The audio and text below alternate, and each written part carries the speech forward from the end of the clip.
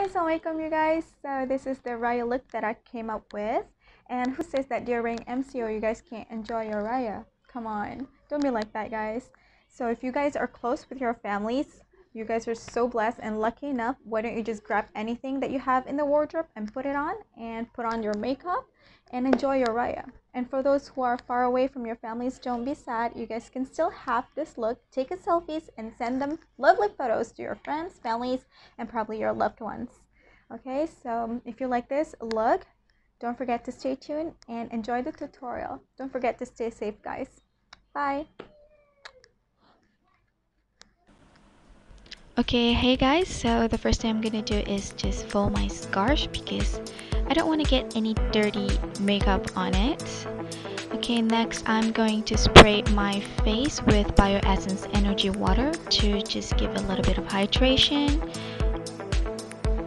Next, I'm going to be using the Rice Bran and Soybean by Naturals. This one is a toner. It helps to um, minimize the pores and balance the pH levels of your skin.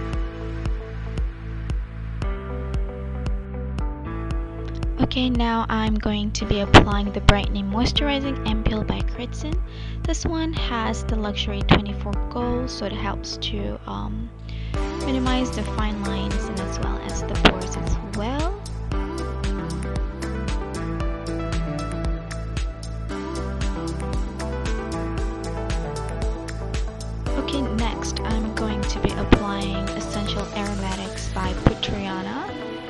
This one is an oil-based moisturizer, so it helps to melt your makeup onto your skin nice and smoothly. Next, I'm going to be using the Putryana HCC Serum.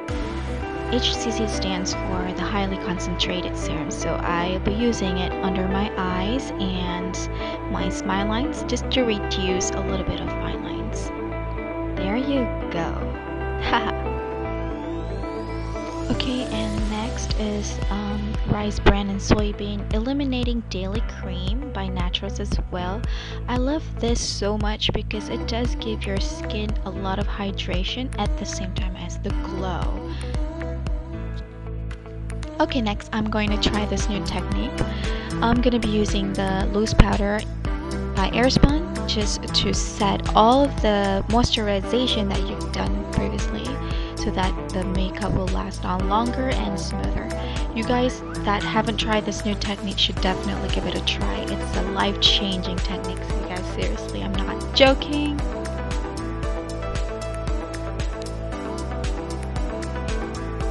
And then don't forget to set it all up like that. Okay, next I'm going to prime my face with Laura Mercier Foundation Primer. This one is great for those that have a dull skin or tired skin or even dry skin. It gives your skin a lot of radiance. I love this. My favorite.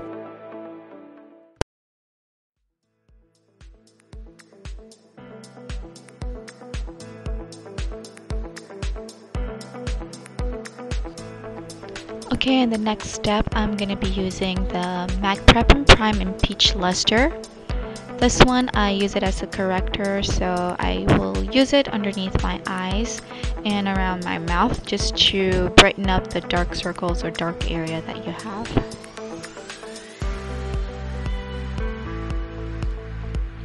Okay, next up, I'm going to be using the Maybelline Age Rewind Concealer in Sand. I picked sand because it is um, darker than my skin tone a little bit, so it helps to um, reduce the orange corrector underneath.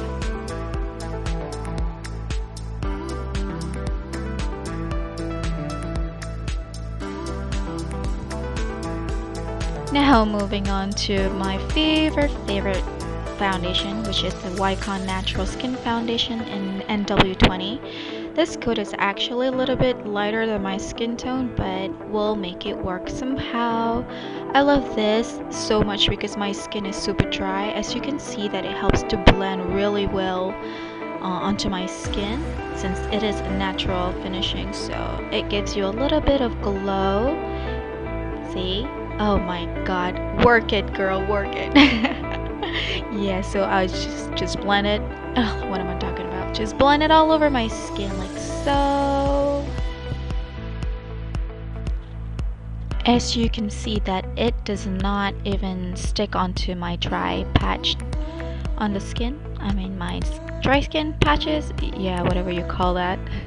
So I'm just going to blend it again all over my skin like so. Now I'm done.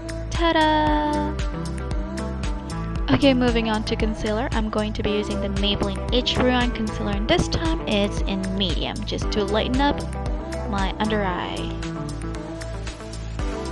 and as for the cream blush, I'll be using the MAC cream blush. Um, I actually forgot the code of this. Yeah, sorry guys. But you can definitely use any cream blush that you own. Anything, as long as it's pink like this.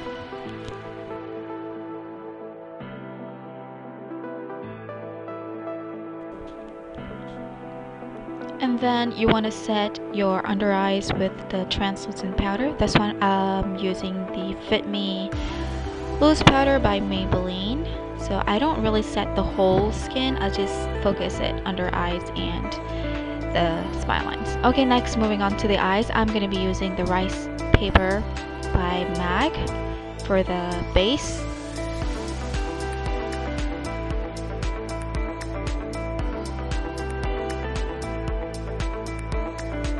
For the next shade, I'm going to be using this Premium Palette, Premium Plum Palette.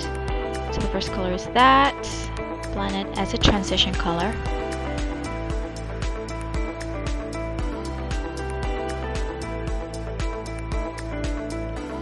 So the next shade, it's still going to be under the same palette, which is this one, and like slightly darker deep orange.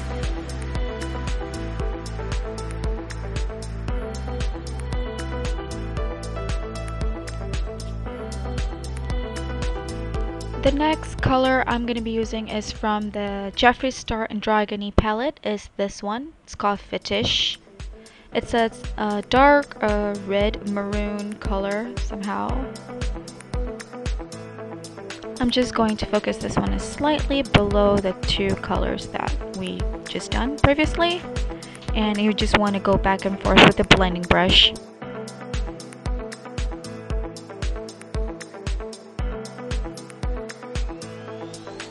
Okay, the next color is this Dominatrix. It's still from the Jeffree Star Androgyny palette.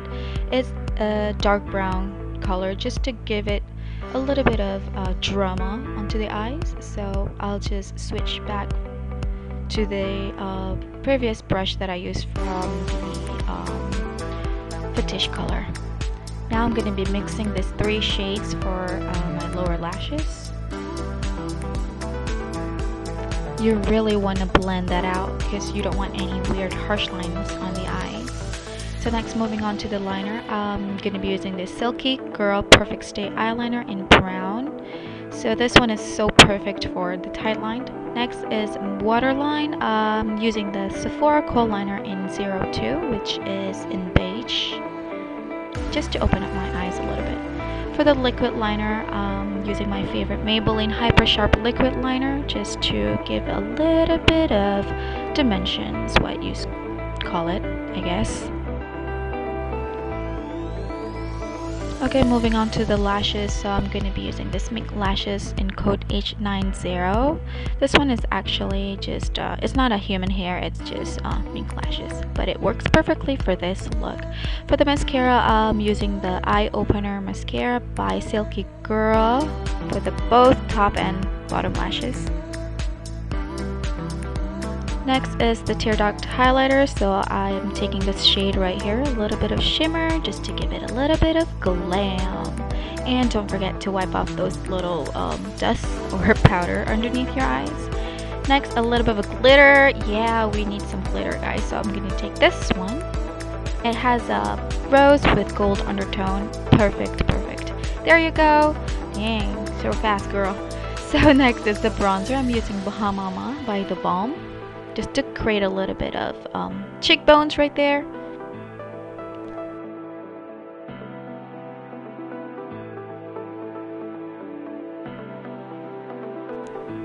Still using the same Bahama Mama, um, Bahama Mama contour powder, bronzing powder on the nose as well. You want to get that nose high as possible. Moving on to the powder blush, I'm using the Pink Swoon by MAC. I love this little pink blush, you guys. It gives that little dolly effect, I think. Yes, smile it, smile. For the highlighter, I'm using this Cover FX in this light pink shade. Yes, just to give it a glow. Glowing.